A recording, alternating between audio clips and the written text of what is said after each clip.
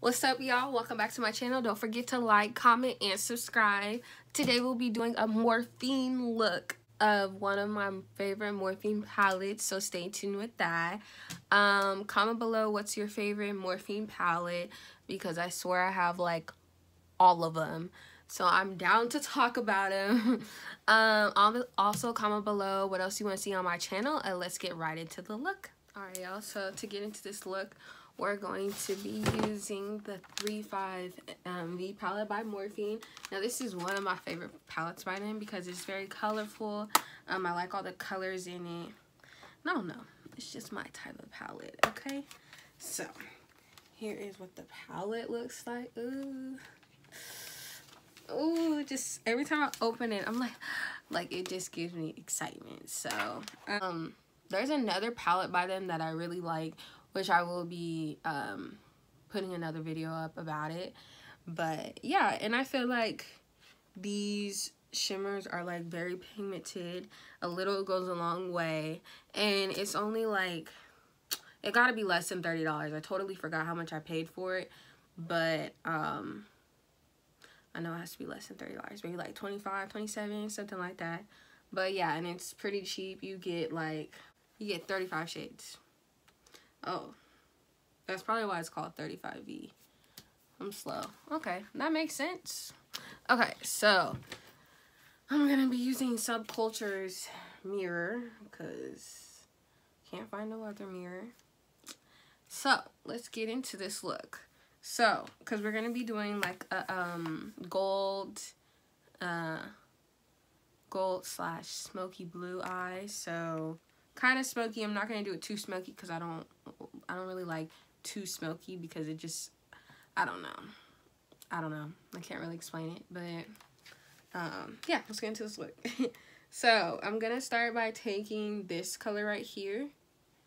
This color right here and then working this color into it just to like kind of start the look, get it in there. Okay. Oops, sorry. I gotta find a brush. My skin's been looking really good. I have no idea why. Because, I don't know. Maybe because I drink a lot of water. Like, I don't really drink pop unless I'm out eating. So, and as you know, I'm using some Morphe brushes. Like, what's new?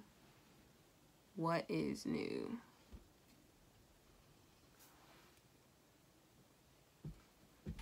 And I already did my eyebrows as you can see. Um,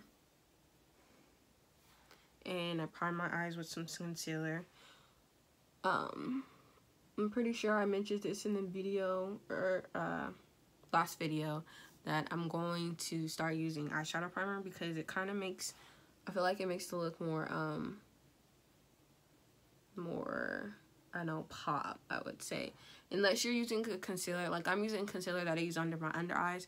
Now if you use a concealer that's like really lighter than your skin tone then it makes it more pop. So just keep in mind that. Because honestly like I didn't really realize that until a couple months ago and I've been putting on eyeshadow forever so yeah because I always used to think like how can I make my looks more pop? And it also starts with primer. And believe me I used to be when I was um when I was younger and starting to get into makeup like I'm thinking oh I don't need primer. Like that's just more money to spend. Well yeah sis you do need primer. You do.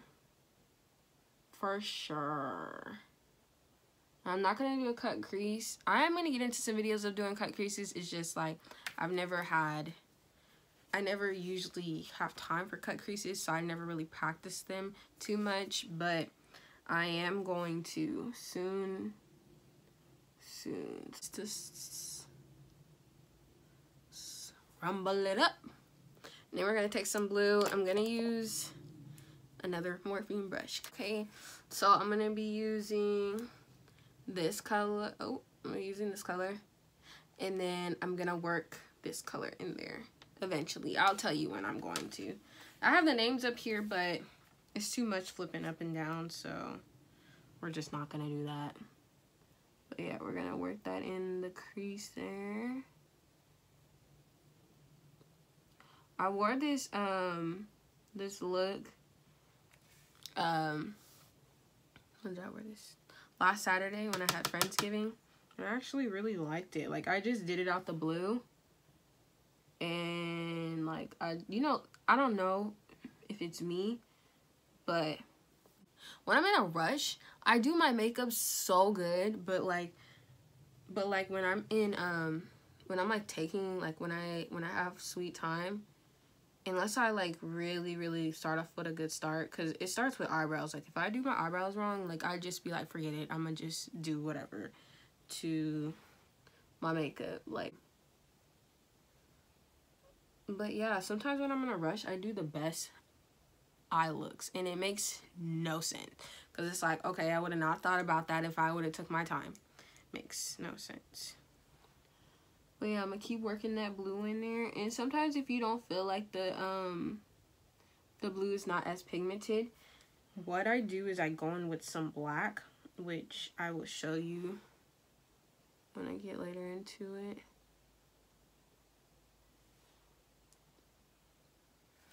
I'm gonna take some of that orange one more time because I kind of went.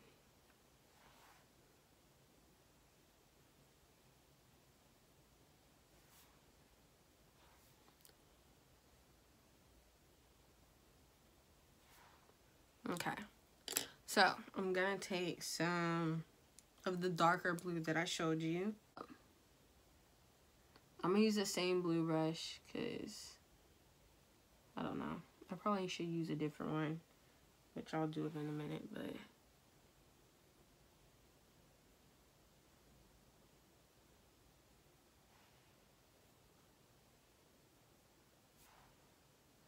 Anyways, I'm gonna take this black color right here to like darken it, darken it up. Make it a little darker. And take a little bit because honestly, if you take a lot of black, it's it might not, um, it might be harder to blend. I'm gonna just take some more. You see that kind of made it like a really big difference. But you just take it and I kind of just pat it in there.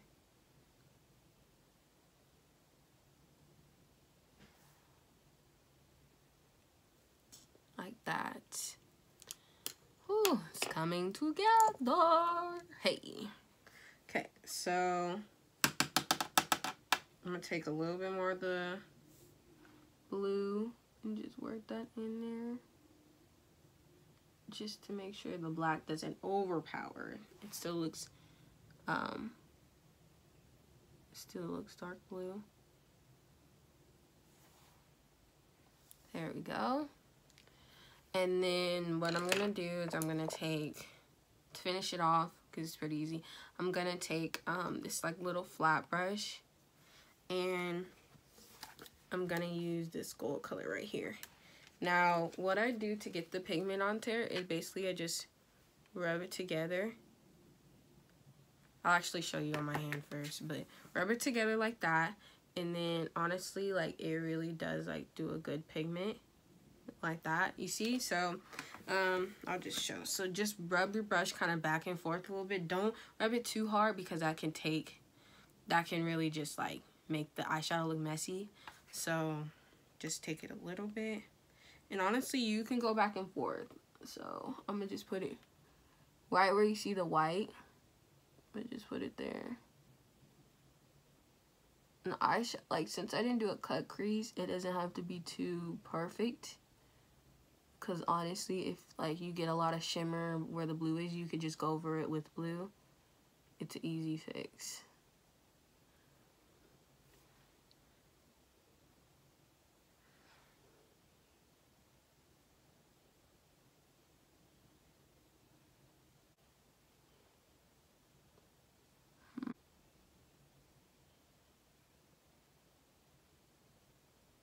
honestly, when you know where to place your eye uh, eyeshadow, sometimes you don't even need to do a cut crease. Like cut crease to makes it makes it more clean and precise.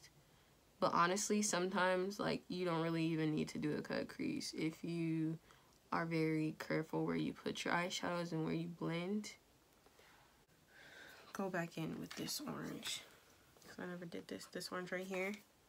And then I'm to just go back up here and kind of just to make it a little bit oranger. Need some more. There we go. And that's about it. So now I'm going to go and um, put on some lashes, do my foundation routine. And because my foundation routine is the same. So I will be right back with the finished Alright y'all, I just want to thank you guys for watching my video. This is the finished look.